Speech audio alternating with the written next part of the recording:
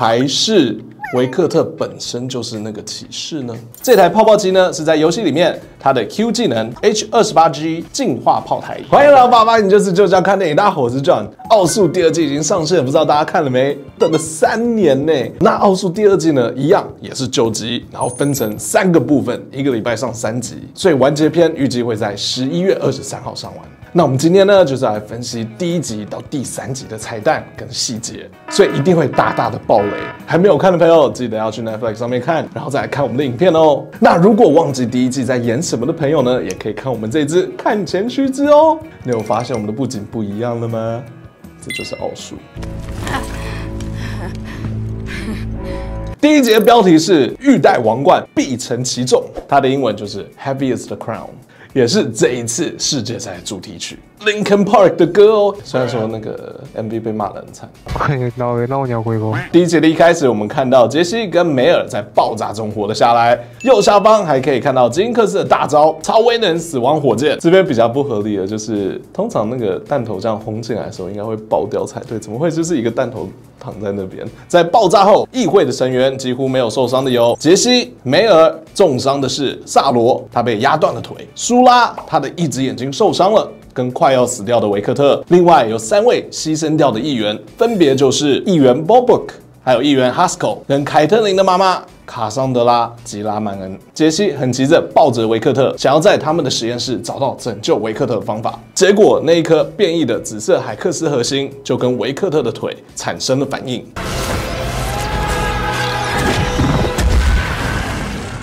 后来，维克特跟核心合体变成了一个板子。How is he?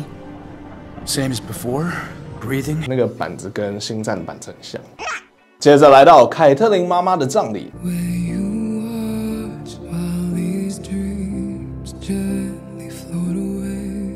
棺材上面可以看到吉拉曼恩的家徽。凯特琳有收到很多来自不同家族的慰问信，其中一封她特别拆开的是来自皮尔托夫的黑色信封，里面有一个黑色的勋章。后面才知道，原来这是悼念会的入场徽章。这里他们细节真的做超细的，因为悼念会前杰西去安慰凯特琳的时候，他们两个身上都有带这个徽章哦。后来凯特琳的爸爸把吉拉曼恩家传的钥匙给了凯特琳。Your mother left this to you. The Kiraman Key. 然后凯特琳要菲艾跟他一起去当皮尔托夫的执政官，但是被菲艾拒绝了。因为在第一届的时候，我们有看到菲艾的爸妈就是被执政官给杀死，所以他很痛恨这些执政官。那这边呢有一个很好笑的细节，你知道凯特琳她的设定呢，就是如果她穿高跟鞋的话，她其实是一百八十五公分哦。然后菲艾的设定呢，她是一百七十二公分，所以这就是为什么在动画里面凯特琳看起来一直都是比菲艾高，因为他们差十三公分。You were right, Kate. 另一边，杰西守护着维克特，很不敢相信，明明自己就在维克特的身旁，但是爆炸的时候自己却完全没有事。Should be me up there instead of him. Don't say that. 其实我们有个推测，因为我们在第一季最后有看到梅尔背后发出金色的光芒嘛，加上他小时候穿的那个服装，看起来很像游戏中的道具日轮的加冕。那这个道具呢，就是你发动后，自己的角色跟旁边的角色一定距离以内的，都会被上一层护盾。所以我们怀疑呢，梅尔可能。有这个东西，或者他就是这个东西。但是其实还有另外一个可能性，我们在他妈妈安比萨的 MV 里面有看到，安比萨怀着梅尔的时候曾经濒临死亡。然后我们看到在肚子里面的梅尔，他的眼睛一度发亮。对，所以我们就推测，他该不会就是在那一次得到了某种力量，又或者是某个力量苏醒，又或是他得到了死神的保护之类的。所以他这一次的爆炸会没事，而且他自己本人好像也不知道自己有这个能力。那比较特别的地方就是，我们在研究这一段的时候有发现，梅尔背后的金色看起来好像是他身体的一部分，因为他只有在没穿衣服的时候才可以看到这个金色的地方，其他的时候呢都被衣服遮住了。希望之后呢，这个可以在这一集里面得到答案。再来有一幕，我们可以看到坏掉的海克斯手套，还有杰西的锤子，暗示之后菲艾会跑回来这里拿锤子。画面回到难过的菲艾，他跑到了桥下，遇到另外一位皮尔托夫的执政官 Loris。后来又来了另外两位执政官，Maddie 还有 Stab，而菲亚也因为他们对于执政官的印象有改观，所以他就决定要加入试试看。那这位 Stab 鱼人呢？你不觉得他看起来很像游戏里面的纳米吗？还有我们之后有看到梅尔有去找一位半兔子的人类，那这些半兽半人的混血儿或者是兽人呢，在这个世界被称为范斯塔雅。游戏里面有很多范斯塔雅人的英雄，像是纳米、尼可、雷格尔、悟空、瑞空，还有萨雅。那范斯塔雅他们很特别，他不是真的是人类跟动物的后代啊。他们的故事呢是在上古时期，当时有一群泰坦从天而降。为了要保护这个世界，那个时代的几位聪明人类运用了灵界的自然力量，把自己变成了范斯塔西莱，最后打败了泰坦们。之后，他们就留在人间，跟人类有了后代，也就是范斯塔亚人。但比较特别的一点呢，就是在这个新的时代里面，范斯塔亚人已经开始没有后代了，所以我们看到的就是一个慢慢在绝种的种族。Sorry, but I really can't. 回到影集，我们如果仔细看，街上其实是挂满了歌剧表演的宣传旗子，看起来这个表演就是嘉文四世的故事，可能因为那是那个他的头盔嘛。这边还有一个小细节，就是进入悼念会的人，如果是贵族，就是拿着黑色邀请函入场的；如果是平民，像是菲爱的这种，就会被收身。所以那些偷偷混到悼念会的人，一定是有管道拿到黑色邀请函的。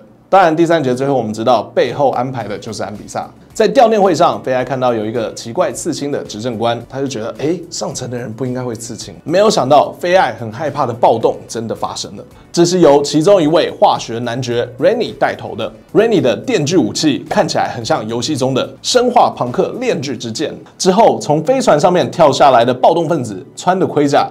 很像是涡轮炼金罐，就是可以让人家跑很快的那个。这个盔甲在第一季第八集，菲尔跟杰西去地下城破坏工厂的时候也有出现过，所以就是下层才会使用的一种化学盔甲，很有趣。在打斗的时候，杰西还拿起了一个小锤锤来当武器，他真的是非常喜欢锤子，小锤子也不放过，大锤子也不放过。在战斗中，Loris 有很像布朗姆一样拿着盾牌挡下了攻击。在最紧张的时刻，安比萨带着他的诺克萨斯军队过来救援，杀掉了 Rennie。在这一节最后，我们看到凯特琳用他们家族的钥匙打开了他们家的秘密，可以看到房间里面有历代吉拉曼恩领袖的照片。在家族记录的幻灯片里面，可以看到这个毒物里面好像有一对眼睛。那这个脸呢，看起来其实很像镜爪。那因为镜爪是死神。所以，当毒物在攻击这个城市的时候，应该是带走了很多条生命，所以死神才会出现在这里。这时，背景音乐播的就是抒情版的《Heavy Is the Crown》。当然呢，在这一集，这个王冠指的就是海特琳拿起了家族很沉重的那个责任，他不是真的戴上那个王冠，然后指的当然也不是 Faker，虽然说是 Faker，可是不是 Faker。那这里再度使用了剪接的蒙太奇 （montage）。简单来说呢，就是把很多不同的画面、不同的时间顺序，把它整个插在一起，同时好像看了三个故事一样的感觉。一边可以知道吉拉曼恩打造了佐恩的通风系统，另一边可以看到杰西在帮忙打造海克斯武器。然后我们又看到议员不确定要不要用这些海克斯武器的时候，凯特琳就带着他的海克斯小队出现，然后就说：“来吧！” Address me with respect or keep your mouth shut.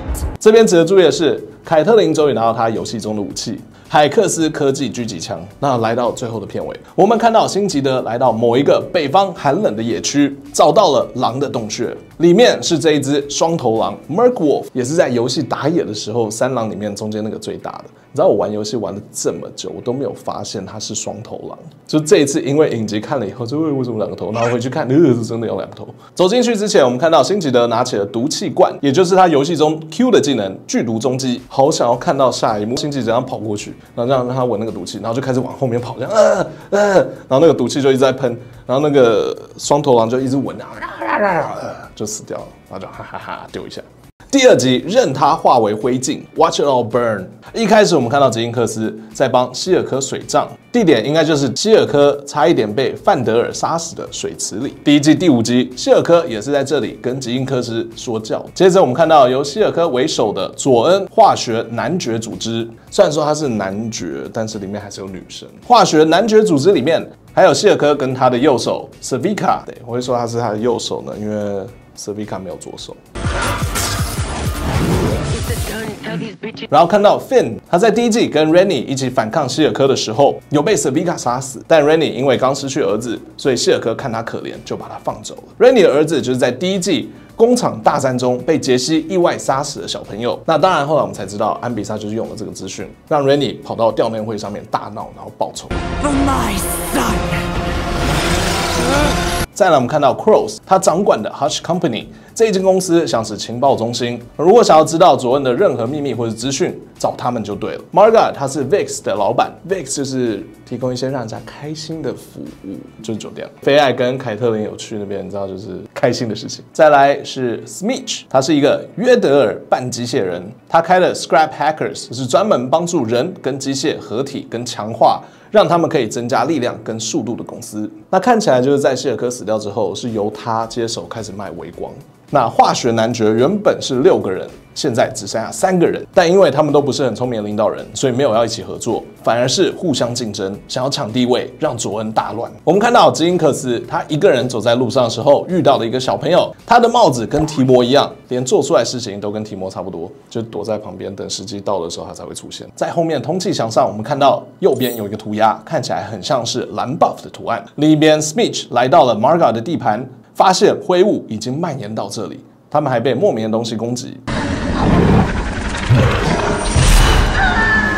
你知道那个时候，我们以为那是吉因克斯做的，但后来才知道不是哦，是另外的神秘人物。接着 s 比卡跟剩下的三位化学男爵在佐恩之子开会，他们知道自己不能再内斗了。就算联手也打不过上层的人。这个时候，Smith 就提议应该要把吉因克斯交出去，这样就可以化解危机。但 Svika 不想，因为之前希尔科就是为了这个问题而死掉的。再来，我们看到 Svika 跟吉因克斯的对话，building his weapons, Making his deals. exploding his enemies. 其实，在第一季的时候呢，他们算是公司的死对头，两个在同一个公司工作，然后就是竞争的关系。但后来老板死掉之后呢，他们决定要一起合作，感情就变得比较好一点。另一边，维克特终于醒了，他发现杰西不但没有毁掉海克斯核心，反而还把自己跟海克斯核心合为一体，感到非常的生气。他应该没有生气，他应该就是一个电子讯号而已。杰西为了讨好生气的朋友，还说他不要再当议员了，只想要一直跟维克特一起做实验。我觉得他当下是因为吓到才会问，因为他才经历过炸弹，他是一定是真的，当下的真的。渣男都这样。I understand now. My place was always here in the lab with you. 当维克特拿走斯凯的笔记本离开时，我们可以看到旁边还有杰西在做海克斯武器的设计图，有手套跟狙击枪。另一边，艾克跟野火帮一直收留下层的难民，这里也有看到他的伙伴 Scar。它是一个叫做 Kyrian 的种族，是有着蝙蝠外观的人形生物。那我们又查了一下，虽然他们看起来像是范斯塔亚人，半人半动物，而且又有点像约德尔人，因为全身都是毛，但目前为止都还不确定他们到底是不是范斯塔亚人或是约德尔人，只知道他们是原本就住在佐恩的居民。就是原住民的概念。旁边我们看到可爱的汉默丁格正在跟小朋友玩泡泡。这台泡泡机呢是在游戏里面它的 Q 技能 H 二十八 G 净化炮台。原来那个炮台原本是泡泡机耶，那超可爱，他头上还有戴那个野火帮的小面具。艾克跟汉默丁格发现树上的叶子被奇怪的东西给感染，他们偷偷摸摸的又回到了汉默丁格以前的实验室。在这里，汉默丁格讲了一个很可爱的游戏梗。The jungle. Brambleback 就是野区里面的红 buff 树精长老，但是艾克以为这是汉默丁格随便编出来的字，所以听不懂，所以这个艾克没有打过野。他们见到杰西后，发现这个感染的图案跟之前实验的结果很像。其实第一季维克特也有拿着这个图案去找辛吉德问过这个事情，然后那个时候被感染的植物呢都死掉了。再来，我们看到维克特在佐恩行走的时候，有看到珍娜的画像。那游戏里面，珍娜其实是一位掌管风的女神，在古代的苏瑞玛就有很多真纳的信仰。还会对她祈祷。据说在人们最需要的时候，珍娜一定会出现来帮忙。之后这个信仰也有被带到佐恩来，因为佐恩以前是一个海港城，所以人们会跟珍娜祈祷，希望可以有比较温和的海浪对的风向。随着时间过去，大家对珍娜的信仰越来越少。但在佐恩下沉的时候，受难的佐恩居民还是跟珍娜求救。那时珍娜就突然出现，用她的魔法制止了水，让水没有办法淹没到居民的家，还让大家有时间可以逃离。她还有用风，把浓烟吹散，大家才可以看到逃跑的路线，还有干净的空气可以呼吸。虽然那次的事件有很多人死掉，但活下来的人都非常感激珍娜，让佐恩再度燃起对珍娜的信仰。所以佐恩的人呢，他们就是供奉这个女神。就珍娜的故事下面有一个小故事，是一个被皮尔托夫的人霸凌的佐恩小男孩，他一直在哭，说他们在欺负他。然后突然间珍娜就从他后面出现，抱了他一下，然后就说没事的，然后就用一个龙卷风把霸凌他 皮尔托夫人给卷走。回到维克特，维克特碰到变成毒虫的哈克，他一路尾随着维克特，想要抢走他手上的拐杖，但维克特只是摸了他一下，就治愈了哈克。所有的毒虫好像看到神机一样，就跪了下来。之前呢，我们都一直开玩笑说他是钢铁耶稣，但是如果你真的看图片的话，他比较像是钢铁摩西，因为摩西就是拿着那个拐杖，穿着斗篷，然后摩西也是解放了一群人。对，所以很有可能维克特就是摩西的角色，像是解放了佐恩的毒虫，不被毒给控制，然后把毒物劈开，中间有一个道路，他们就这样走过去。You need not suffer anymore. 另一边的凯特琳知道自己的家族建造了佐恩的排气管之后，就跟海克斯五人小队一起来到小时候菲艾跟吉因克斯打电动的地方来抓吉因克斯。顺带一提，你知道现在登入英雄联盟其实还有一个小游戏哦，就是 Jinx fixes everything，吉因克斯会修好所有东西。你要帮吉因克斯找东西，然后修好他想要修的东西。那在玩完第一关之后呢，他直接会连接到影集的这一幕哦。所以吉因克斯来到这里就是为了要修 Savika 的机械手背。吉因克斯看到有毒气进来，而这个毒气旁边有一个脸，看起来非常像费德迪克 （Fiddlestick）。那这应该就是一个彩蛋，毕竟费德迪克就是恐惧的代表。接着我们看到只有眼睛像怪物的出场方式，跟之前 Smith 手下在 Marker 的地盘被攻击的样子一样，所以可以确定攻击他们的就是凯特琳小队。他们在各大化学男爵的地盘放出毒气，制造混乱，同时也故意让他们搞内斗。你知道我在看这五个人。从毒雾里面走出来那个样子，看起来超级像是在致敬新的 ARAM 地图。因为佐恩的队伍，他们真的就是从地下道这样出来，然后旁边两边原本是草丛的地方呢，也被改成是毒雾的样子。还不知道朋友呢？现在英雄联盟的 ARAM 随机单中有奥数特别版的地图哦，整个桥都变成了进步之桥，里面有很多。奥数的彩蛋非常特别，非常难得，因为随机单中通常他们都不会去改任何东西，这一次真的有被关心到，突然间打了一个广告。那回到影集里面这一幕，另外一个我想要提到的就是，你不觉得 Loris 在拿盾牌的时候看起来像布朗姆吗？然后跟着吉因克斯的那个小孩很像提摩，因为故事没有办法真的带到布朗姆跟提摩，所以他们用了很类似的角色出现，故意就是要让我们想到这些英雄。虽然没有找到吉因克斯，但菲艾在地上捡到了小时候的朋友 Milo 的护目镜。之后我们有看到菲艾就把这个护目镜戴在了头上，完成他在游戏中的经典造型，也完成了第一季很多粉丝的心愿。因为那个时候他们就说：“哎，这个护目镜怎么在吉因克斯那里？不是应该在菲艾的头上？”吉因克斯逃离游戏场之后，又被 Smith 给抓到。那这里的翻译用了一个游戏梗 Draw back, long range types.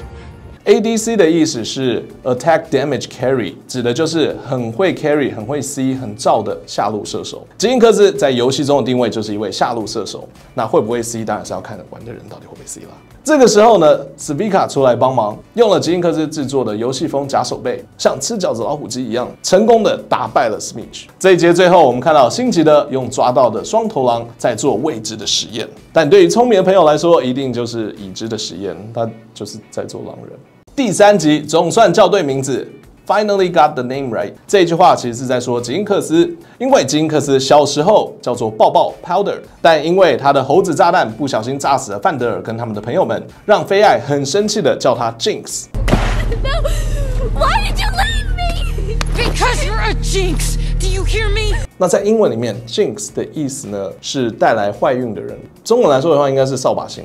一开始演出，凯特琳在吉拉曼恩家传的钥匙中知道，他们以前在裂沟上进行工程，意外的造成了毒气体。吉拉曼恩家族就制作了通风系统，让下层的人可以呼吸。那根据游戏的背景故事，这个毒气叫做灰雾，是皮尔托夫工厂排到下层佐恩的废弃物造成的。那老佐恩的人呢？因为之前比较常吸这些毒气，所以他们其实有点习惯了，还可以吸几口，不会直接昏倒或者不能呼吸。比较新一代的佐恩的人，他们就要戴防毒面具，他们没有办法直接吸这个空气。他们会咳嗽啊，或者直接晕倒。凯特琳就利用这些排气管，在他们特工队出现的地方，会先放出灰雾，制造下层人们的内斗，再出来抓人，或者是想要找金克斯。这一招真的很坏，其实菲艾也觉得超级不 OK，因为会害到很多其他的人。然后这个时候呢，背景音乐我们还听到。这其实就是在暗示凯特琳已经开始变成坏胚子了。其实这一段也解释了为什么吉拉曼恩可以得到那么高的权利，而且大家都很尊敬这个名字，好像就是因为他们佐恩才有空气可以呼吸。但没有想到，原本应该是要守护佐恩的家族的成员，现在却用了这个毒气，想要来抓人，然后来报仇。再来，我们看到安比萨的战船，有人说这个战船很像是卡牌游戏《符文大帝传说》里面有介绍过的诺克萨斯战舰 The Leviathan。但我们觉得不太像，因为如果你真的去看那个图片比对的话，你会发现大小有差，而且安比萨的船没有后面那个三个大烟囱。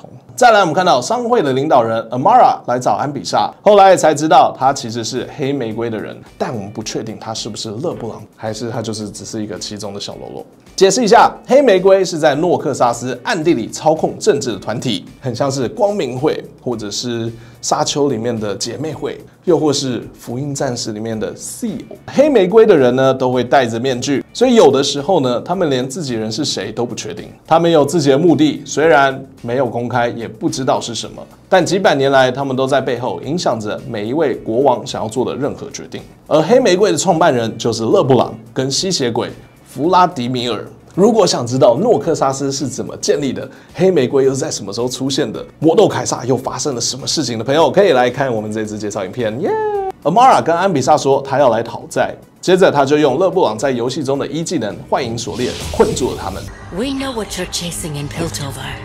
Your visit only confirms my suspicions. 说完了这些话后，安比萨他们破坏了锁链，杀了 Amara。那这边有一个超级酷的小细节，因为安比萨的手下在解开锁链的时候，他的武器发了绿光。这该不会是魔斗凯撒的力量吧？绿色通常都是阴界的力量，加上他们的对话，我们可以简单的来一个猜测。因为勒布朗呢，在千年前就是他偷偷的联合蛮族，把魔斗凯撒的灵魂跟战甲给分离，放逐到死亡的世界，剩下的战甲空壳则是被封印在不朽堡垒地底下的秘密地点。那这个秘密地点只有勒布朗自己知道，所以该不会安比萨的儿子知道这件事情之后，就偷走了拥有魔斗力量的战甲，或者是一部分，然后因为这样子，他被黑玫瑰给追杀，然后被杀死。那有没有可能也是因为这样，安比萨他们的军队也会使用一点魔斗的力量，或是持有战甲的一部分，所以才会有那个绿色的光呢？如果是这样的话，该不会他拿到这个战甲的一部分，或者拿到这个东西，加上皮尔托夫海克斯科技的力量，安比萨可能就会得到更高的力量，然后可能可以消灭黑玫瑰，所以黑玫瑰才会那么的害怕。又或是黑玫瑰其实很害怕安比萨不小心复活魔斗凯撒，然后他们其实怕的是魔斗凯撒复活。对我觉得这这两种都有可能。安比萨知道这个人只是一个躯壳，但他有提到自己害怕黑玫瑰会回来找茬，为了要保护梅尔，还是故意要跟梅尔保持不好的关系。另一边，断腿的议员 Salo 偷偷的在用微光开心，安比萨请他要召集所有的议员开会，也就是这一集最后那个会议。来到了剧院，我们看到这个剧院上面其实有梅德拉达家族的家徽，就代表着这个剧院其实是梅尔的。剧院的外面可以看到加文四世的旗子，里面可以看到他们在彩排，不仅就是蒂马西亚招牌的白色石头建筑。所以奥数这个时间点，蒂马西亚那边发生了什么事情呢？我们在看前区这个影片里面，其实年代讲错了，因为奥数的第一季第四集，汉默丁格有说，现在庆祝的是第两百年的进步日。Can you believe it? Our city is about to turn two hundred years old. 那皮尔托夫是在七七二左右建立的。那两百多年的话呢，就会来到差不多是九百八十五到九百九十五 AN。蒂马西亚之前的国王加文三世莫名其妙被刺杀身亡的时候，还有塞勒斯逃狱的时间是发生在九百九十六 AN。因为时间很近，很有可能奥数现在这个时候呢，那个事件已经发生了，因为是我们刚刚是说左右了。加减可能五年都有可能，所以有没有可能这个歌剧就是在演嘉文三世死掉了，然后嘉文四世上位的故事？接着，杰西他们在讨论奥数、海克斯科技还有狂野符文的时候，这一段其实我在看的时候真的看不懂。我不知道那个差别在哪里，所以我们后来研究了一下，整理了，希望也可以给看不懂的朋友看一下。那我们现在解释每一个名词还有它的意思好了。第一个是海克斯水晶 （Hex Crystals），这个是第一季吉因克斯他们偷到的一个很不稳定，稍微碰到撞到就会爆炸的危险水晶。再来就是海克斯宝石 （Hex Gems），是后来杰西跟维克特做出来的，是比较小。比较稳定，被挤压或摔到都不会爆炸的海克斯宝石，那它可以运用在各种海克斯科技里面。那也就是说，水晶跟宝石这些东西到底是什么？它们其实是一个被符文限制住的一个天然的东西。但它其实，如果你仔细看，里面是有符文的，它就是一个被符文。操控的力量形成的一个类似宝石的东西。那海克斯科技呢，其实就是任何可以使用海克斯宝石来达到效果的物品。其实就像电器一样，我们可以发明各种有用的工具跟娱乐的电器，而海克斯宝石呢，就是这些电器里面的电池，但有魔法的成分在里面。所以海克斯科技上面都会用到符文，而这些符文呢，是把海克斯宝石的力量。变成他们想要的东西，像说有个符文可能是召唤风的话呢，它海克斯宝石放进去，它就会有很多的风，就是吹风机就出来了。像杰西的那个锤子嘛，它就有一个符文会把海克斯宝石的力量变成一个光炮一样的东西射出去。那这些力量也可以被理解成魔法，但另外一个字是奥数，所以奥数其实不只是这个影集的名字，它其实还代表着更高一层的东西，比较像是星战里面的原理。因为奥数有他自己的安排，有自己他自己的想法。对我自己觉得奥数跟魔法是一个类似的东西，但我不太确定这一块，我们可能要在看影集之后才会慢慢的再解释更多。那再来呢，就是比较不一样的，维克特发明出来的海克斯核心。那这个海克斯核心原本是蓝色的，然后它算是一个更高级的海克斯科技。以设计上来说，这是一个可以让符文一直改变的核心，所以这个东西可以慢慢的成长跟进化。改变。It said the arcane speaks through them. They think. They adapt. 杰西他发明的海克斯科技比较像是我们以前那种比较固定的东西，像计算机。或者是电子机的那个小机器嘛，那个机器你也不能干嘛，你不可以下载新的 app，它就只能养那个电子机，对不对？海克斯核心呢，它比较像是一个电脑，你可以在里面写程式，创造出各种不同的东西，它会一直演变，一直变化。所以海克斯核心是一个比较复杂的东西，但因为这个是未完成品，少了一个东西，所以维克特在第一季的时候才一直在持续的研究它。那如果我们仔细看这个核心的话呢，其实这颗核心的上面每一面都有我我们在游戏中可以使用的。符文像是精准、征服、巫术、意志，那因为四组一面的关系呢，所以其实是少了一个的哦。它其实少了启示 （inspiration），所以该不会就是因为这样，所以维克特才没有办法好好的控制这个核心？还是维克特本身就是那个启示呢？因为他一直很努力，所以他也算是一个 inspiration 吧。超酷的就是，如果这个核心真的像维克特一开始设计的那样，就是可以跟生物连接的话，那就完全。合理，因为在游戏里面，我们不是调不同的符文会有不同的效果嘛？像说致命节奏，你会越打越快啊，或者是。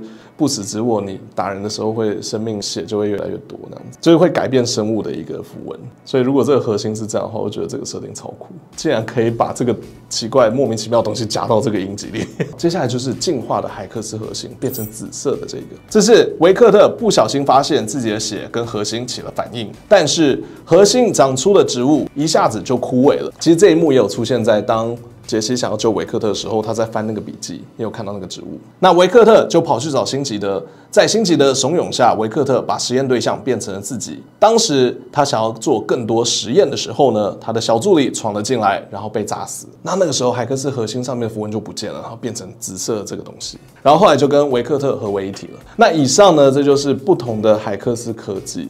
符文还有魔法本身呢？杰西其实他们也有讨论到狂野符文嘛。对，那要理解狂野符文的话，我们要先理解符文本身，就是这个世界的魔法到底是从哪里来的。杰西跟维克特一开始在研究这块科技的时候呢，以为魔法的力量是可以被控制的。后来他们才知道，这个世界上魔法的力量其实不属于他们这个世界的。英雄联盟符文大地，它其实分成四个世界，分别是物质界，就是我们所谓的人界，他们住的地方；再来是灵界，灵界跟人界很像，但是是灵魂居住的地方。然后里面还有一些口袋世界，暗影世界就是魔豆凯撒他灵魂世界，其他可能像班德尔城约德尔的家，那也是在灵界旁边的口袋世界。第三个是天神界，是创造世界的地方，所有的。神力、空间、时间都被掌控在这里。那最后是虚空界，一个永恒的虚无，想要吞噬一切的地方。魔法其实是从灵界借过来的力量放到了人界，然后那个力量呢，只能透过符文才能过来，所以他们其实就是用符文，然后把灵界的力量放到人界来，就会有魔法。因为这是完全没有被理解的一个领域，所以杰西才会提到荒野符文跟海克斯科技不一样，也跟其他的符文反应都不同，是一个非常混乱、没有办法去操控的力量。You sighed. Still a kind of language. A sound, but not words. Something raw, natural. That's wild runes. 可以操控的魔法，就是当人类用符文把灵界的力量拿到人间来。但如果灵界的力量不小心自然或是某些原因冲到的人间来，在没有人控制的情况下，那他们留下来的那个痕迹就是狂野符文。我我现在的理解是这样，所以汉默丁格才会说，有可能就是因为海克斯科技运用了大量的符文，从灵界借力量来到了人间。造成了某种不平衡，让灵界有很多的力量会爆发，然后不小心跑到人界来，所以才会有那么多奇怪的荒野符文出现。那他没有提到，就是因为这样，所以奥数流了过来，佐恩下面的那棵大树才会被感染。那当然呢，在这边最值得他们担心的就是，如果物质界跟灵界中间的边界破掉的话，可能就会有不好的事情发生，很多不稳定的力量会出现。或者是有一些妖魔鬼怪可能会出现，但因为如果你仔细看大树上面那个被感染的纹路，它其实是紫色的。那在英雄联盟里面，紫色的东西通常都是虚空，所以有没有可能它是在暗示，如果他们在用海克斯科技的话，有可能虚空会突然间跑来这个世界，然后他们跑来之后呢，就会留下一个痕迹，就是荒野符文。想要知道虚空是谁，他们是什么，为什么对于这个世界有非常大的威胁，我们有一系列的影片在这边，可以去看，反正虚空就是英雄联盟世界里面最可怕的敌人，会吞没整个世界，就是光明跟黑暗，它就是黑暗。解释了这么多，我们终于要回到影集。接着，菲艾跟吉恩克斯打了起来，杰西他们则是跑到了海克斯传送门地底下的基地。发现这里也被奇怪的东西给感染，还产生了非常可怕的异变。杰西攻击了那个东西之后，瞬间所有海克斯相关的东西就开始闪烁，很像《洛基影集》里面那种时空错乱的感觉。在打斗的时候，也看到吉因克斯有用游戏中的一技能摇摇手榴弹。最后，菲艾打赢之后，吉因克斯启动了他帮自己办的葬礼。整个皮尔托夫下水道炸出了漂亮的彩色颜料。对我其实不太确定，那个是真的只有彩色颜料而已吗？还是是带有毒气的彩色颜料？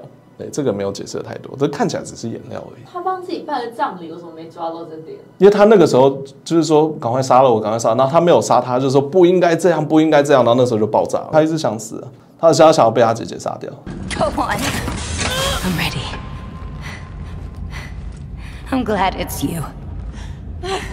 Had to be you.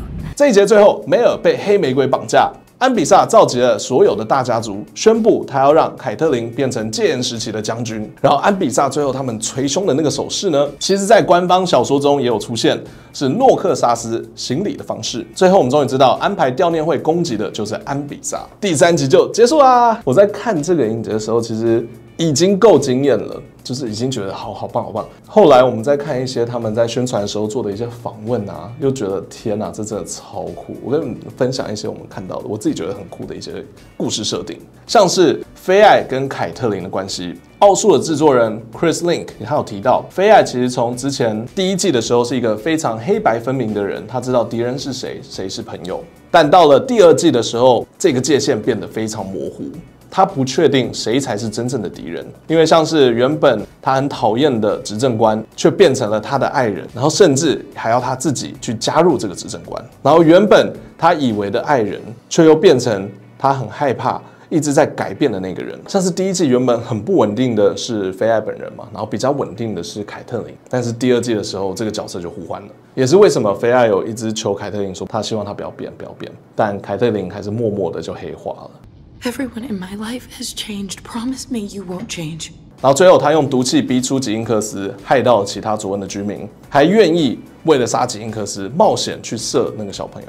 然后这个当然就是让菲艾看到说，哇，他怎么变得那么黑暗？怎么我爱的人变成这样？稍微有点小暴雷啊。可是有看预告片的应该会知道说，其实菲艾跟凯特琳最后那一幕是代表着他们分手。我觉得最酷的就是因为这些人物的曲线跟他的改变还有成长，会让我觉得这个影集真的超强。连杰西跟维克特也是，他也有分享这一块。像是杰西，他是一个梦想家；维克特一直以来都是动手去做的人，然后他也是从最低层爬上来的人。虽然说两个人也都是因为想要进步，所以在一起变成好朋友，一起去解决问题，但是因为上层跟下层的问题越来越大，导致这两个原本的好朋友也发现想要的东西也越来越不一样。Our paths diverged long ago. It was affection that held us together. 有的时候有一些友情，有一些关系真的是没有办法受到问题的考验。一切很美好的时候，大家都好好的，可是，一切问题来的时候，真相就出现了。对，维克特想要帮助的是底层的人，然后杰西比较是梦想家，他想要帮助所有人，可是他其实没有想到底层人会那么惨，他没有办法想，他就是有钱人，对他没有办法知道说底层人可能是连帮自己都不知道怎么帮自己，他就说，哎、我给你一个东西，你就可以用，它就可以变得很好。可是他连用这个东西的机会都没有。那维克特是知道这件事情的，对啊，不愧是花超级重成本的一个作品。你知道吗？这一部动画基本上是打破纪录的高价值动画，第一季就花了八千万美金去做，然后第二季花了一亿美金去做。拳头就有笑说，就是其实靠动画是亏钱的。他们还是要靠游戏才把动画补回来。想想要看第三季的话，你就知道该怎么做了。我我先我不要说怎么做，就就这么做吧。然后最后最后我再分享那个制作人 Chris Lin，他有分享一个事情，他说他们真的很不容易，因为他们的工作室从第一季原本的十五个人，到后来第一季结束的时候请到三百人，然后第二季是四百人在做这件事情，所以真的很贵，而且花了花的时间很长。但不得不说，他们的故事安排真的很好。他有说，其实这一季呢，不只是透露了皮尔托夫跟卓恩的故事，当然还有另外一个新的国家，就是诺克萨斯。那诺克萨斯之外呢，还有一些大世界观的事情会发生在这个故事里面。那我觉得他在讲这个时候，我就觉得天哪！影集里面我们看到的那些暗示，如果是真的的话，像说魔斗，然后如果是虚空的话呢，就会带到更多。因为像弗雷尔卓的冰那边，他们也跟虚空有关。然后南部的苏瑞玛也跟虚空有关，就是所有东西都跟虚空有关。它是一个世界级的威胁，所以光是带到这两个东西，基本上就是可以把整个英雄联盟的世界给带出来。所以如果他们真的是以这个方向在进行的话，我真的超期待，真的超酷哎！当然很有可能他会让我们失望，就最后他就说啊没了，那就一百年后喽。什么都没有啊，那个紫色没有啦，那就只是那个光照一下紫色，它不是真的虚空。然后那个绿色，那个绿色就是毒气啊，就这样，超烂。好，那最后一个比较实在，他有分享，他有说，其实这一季最重要是带出狼人，然后狼人的戏份很重，期待接下来六集，我觉得会超级精彩。好，那我们今天的本期就到这里。你觉得接下来有谁会出现呢？你觉得接下来会发生什么事情？真的是魔斗凯撒的那个绿色光吗？有没有可能紫色真的跟虚空有关？还是那只是 Sherry 很爱的一个颜色而已？那喜欢我们八八研究室的朋友，记得订阅、按赞、分享，我们下次再见哦，拜拜。哎呀，这样子，然后那个下面网友就说：“fake 就 fake，你长得差那么多，还在那边那个亵渎他、侮辱他，你配吗？配？”这样子，很开心。然后旁边就有人说：“他已经双头十五年了，你还没看到？”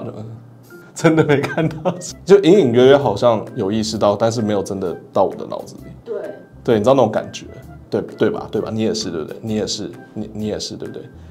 超奇怪，你就是就是你，就是你。那看懂的朋友呢，也可以帮我看一下，然后比较理性跟持有爱的方式来跟我们说哪里做错。所 以这是我们的理解，这是我的理解。OK，一定要有爱，一定要有爱，建设性，建设性，不然会被 block。然后检举，OK，然后被揉手，想被揉手吗？OK，最好会。打开 YouTube，巴拉巴拉研究室，就和 Sherry 拿起话筒开始揭秘，电影彩蛋分析机，把超级细节，各国动漫冷知识仍然不再缺席。这是你的魔法漫威的英雄，每个一点都让你看得心动，小米宝在旁边。